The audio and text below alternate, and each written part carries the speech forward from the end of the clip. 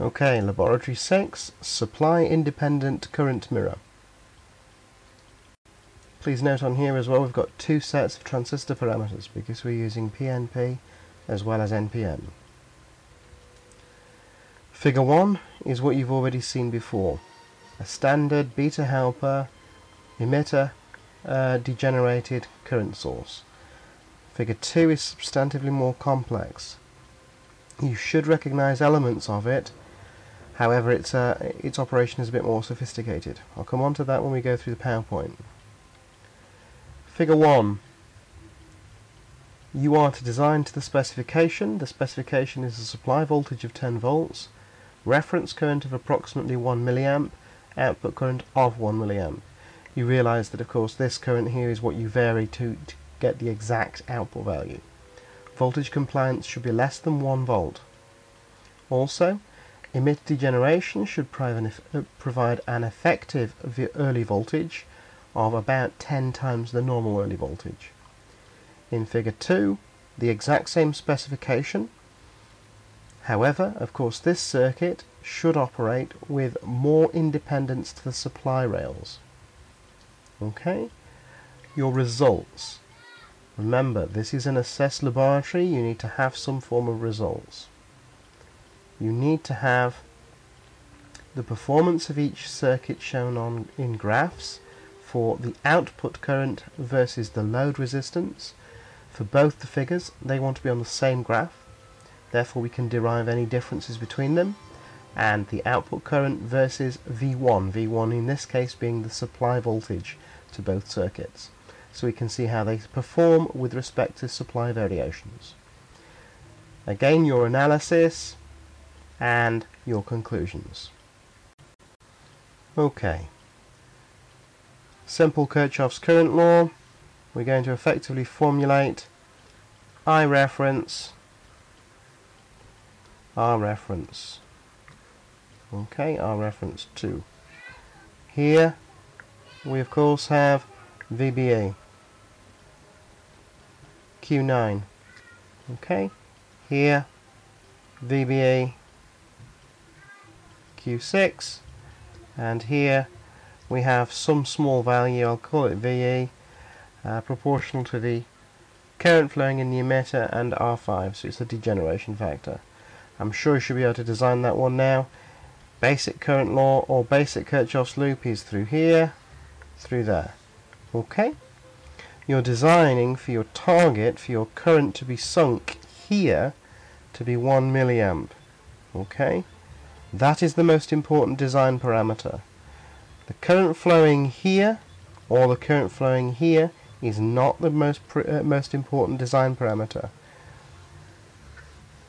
You're going to vary your load like you've done before. You'll show me the gradient, the output compliance level and the fall off. So this is output current against RL. Okay. That's the simple circuit done. Let's move on. First off on this circuit I'm going to try and explain what all the elements are. This transistor and this transistor are effectively a mirror. This is a beta helper fed from ground. Okay? So it's exactly what you've seen before, it's just a PNP variation. These two components here are sort of a ballast. All they do is drop voltage. They serve no function. You can leave them at the nominal 1k value. Your output load again will be varied and you'll show how it performs. These resistors down here are basically degeneration. Okay, They're exactly emitter degeneration. How does this circuit work? If we draw a line here, we have a current mirror feeding current down here and a current mirror feeding down here. This may be the reference line, this may be the output line.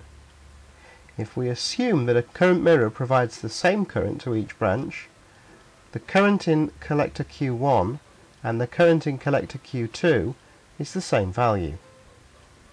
If that's true, we can suggest that the current at this node is IC plus a little bit of IB, ballpark the same value.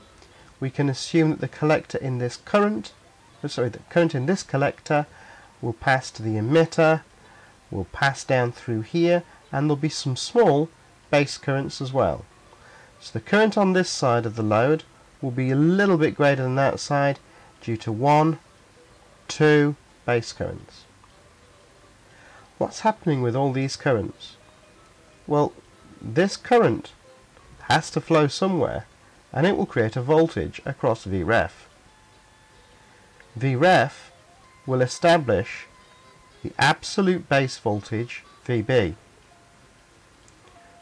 We know that we have a VBE on Q1 and we have some degeneration. If we account for the, the, amount of current flowing in Q1 and approximate that it will be the same in the emitter of Q2, we can effectively calculate VBE. We can then apply degeneration using our VAF equations. Remember, VAF effective is equal to 1 plus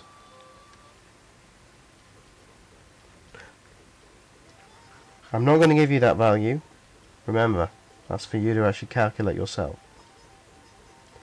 So we will add in our own value of resistance to create VE for output voltage compliance we need to, need to ensure that we will operate fine with 1 volt DC at this node. That implies on your supply that you can operate completely okay with a 9k load. Anything above 9k you don't necessarily have to operate from because our output current is targeting uh, I out is targeting 1 milliamp. Okay, so as you can see, the heart of this design is Q1 and Q2. The method in which it becomes supply independent is the feed from an, a current source. And the current source will always be balanced, therefore it's always feeding the same values down each branch. There's a slight loading effect on Q2, what we've termed before a static error, where that current in the collector of Q2 is feeding the base of Q1 and the base of Q3. So our reference current, whichever way round we call our reference current, will be slightly different than our output current.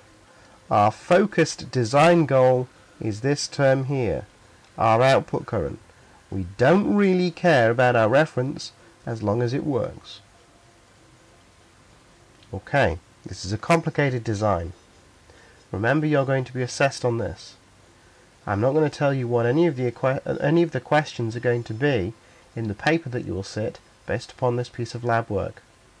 All you know is you are going to be asked relatively complicated questions that you will need to know the answer for. There may be some correct answers, some obviously false answers, and some very good plausible answers. You will have to make the best judgment. You are advised to take a great deal of notes. You've had example of logbooks, now please use them.